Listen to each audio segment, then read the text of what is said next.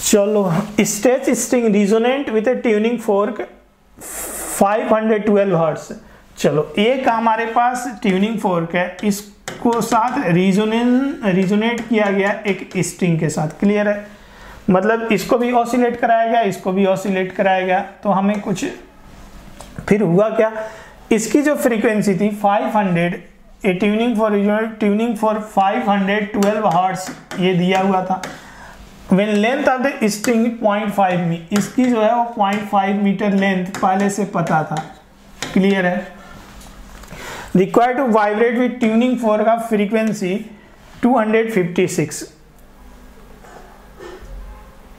अब समझने की क्वेश्चन समझने की कोशिश करना कि एक स्ट्रिंग है regional frequency 12 hertz when length of string अगर लेंथ 0.5 सेंटीमीटर है और ये 512 के साथ ट्यूनिंग फोर के साथ दोनों को साउंड वाइब्रेट किया गया।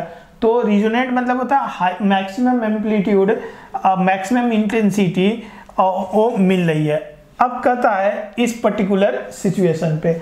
अगर मैं फ्रीक्वेंसी इसकी to two fifty six two fifty six मतलब अगर ये एफ़ था तो मैं इसका आधा कर दिया एफ़ बाई टू तो अब रिजोनेंट मतलब रिजोनेट होने के लिए मैक्सिमम एम्पलीट्यूड या maximum intensity maximum intensity maximum मिलने के लिए हमें कितनी लेंथ की ज़रूरत है वो एल तो अगर आप ये वाली स्ट्रिंग पढ़ के आए होगे तो फ़र्स्ट लूप ऑफ़ वाइब्रेशन या आ, मतलब फ़र्स्ट लूप या fundamental one upon two L T by mu इसके ऐसे पढ़ के आए होगे इसकी फ्रीक्वेंसी ऐसे होती है फंडामेंटल मोड ऑफ़ वाइब्रेशन में या फ़र्स्ट हारमोनिक में.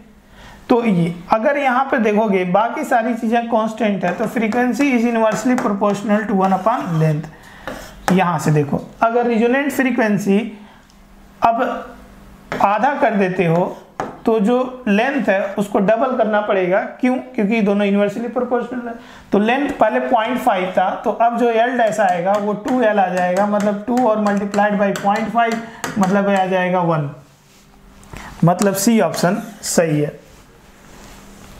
आसान क्वेश्चन था ये।